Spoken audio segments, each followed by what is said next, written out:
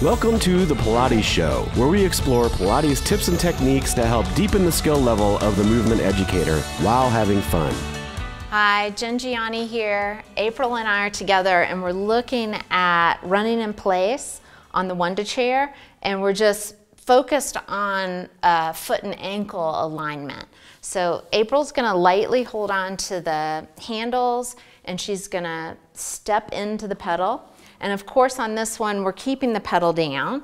And we're doing running in place just like we do on the reformer, but this is a much more functional way of doing it and a much more functional way of looking at like what the, the feet and the ankles are actually doing during the day rather than just lying down and having the foot, feet on the foot bar.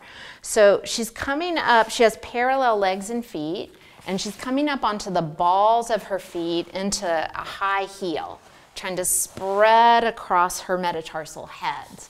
Good, and then she's gonna bend one knee and drop the opposite heel. Great, and then rise up and bend the other knee. Good, and just do a couple more, and actually her feet and her heels are looking really good.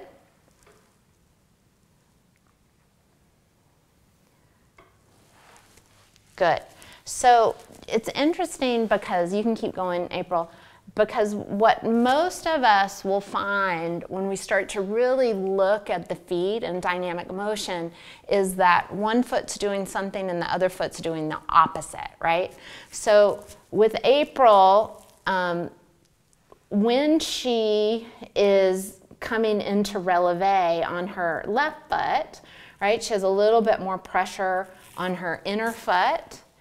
And then when she's coming into releve on her right foot, she has a little bit more pressure on her big toe. So that's a really simple thing for someone to become aware of. So when she comes into releve on her left foot, I want her to keep her pinky toe, but shift some weight into her big toe as she drops that right heel, right? So she has to find that big toe and she has to be aware of her knee alignment. Good, and then coming up, great. And now here, sometimes it's hard with the pinky toe.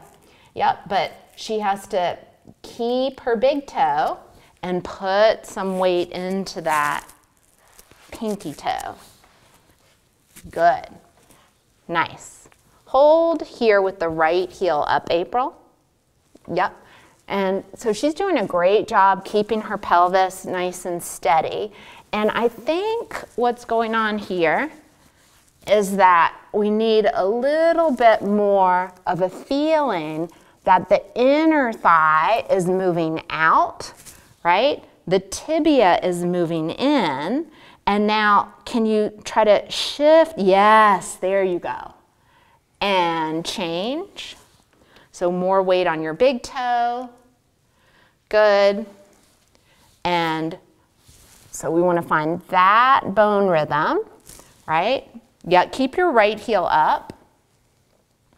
And then really shift the weight. Good. Nice. And see what I'm doing is I'm internally rotating this um, right tibia. Good. And then come all the way up. Excellent work. Good. Thanks. That's it for today. If you have a different take on today's subject or if there's anything you'd like to see covered in an upcoming episode, we'd love to hear from you. See you next time and never stop learning.